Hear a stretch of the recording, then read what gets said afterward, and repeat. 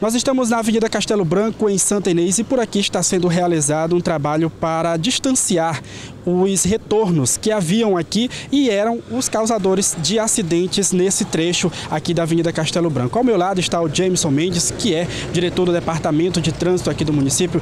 Jameson, é, para evitar acidentes, foi necessário fazer esse trabalho aqui que está a todo vapor, né? Isso, a gente vem fazendo algumas alterações, né?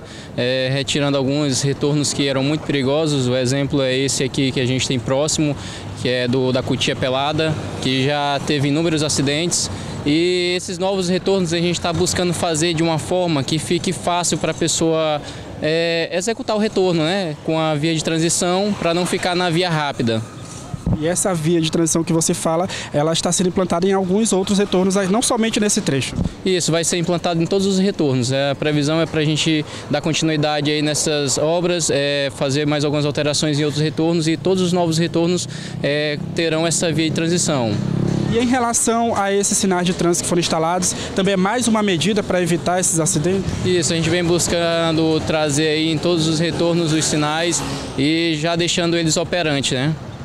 Agora é importante também que os condutores é, obedeçam a sinalização é, para que esses acidentes de fato não voltem a acontecer por aqui. Isso, a gente vem pedindo a compreensão da população através de campanhas para que obedeçam, obedeçam a sinalização, porque é importante, né? E uma vida não tem preço. Tem alguma previsão para esse trabalho ser concluído aqui nesse trecho?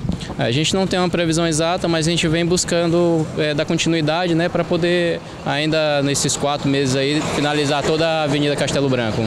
Além desse trecho aqui, outros trechos também receberão esse trabalho? Sim, a gente já vem é, monitorando outros trechos para a gente também fazer esse serviço aqui, inclusive com a inserção também da via, da via rápida, da via de transição e também de retornos maiores, né?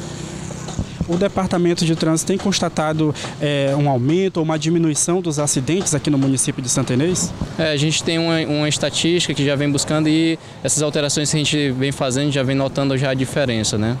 Com esse trabalho, a expectativa é que esses números reduzem mais ainda. É, a nossa intenção é que diminua o máximo possível, né? Para a gente chegar aí na tendendo a zero, né? Que é um pouco difícil, mas a gente vai buscar esse número. Agora precisa a conscientização dos condutores. Isso, a gente pede mais uma vez a compreensão, a educação no trânsito. A gente vem batendo na tecla, né? E com muita luta a gente vai conseguir trazer aí essa conscientização para a população.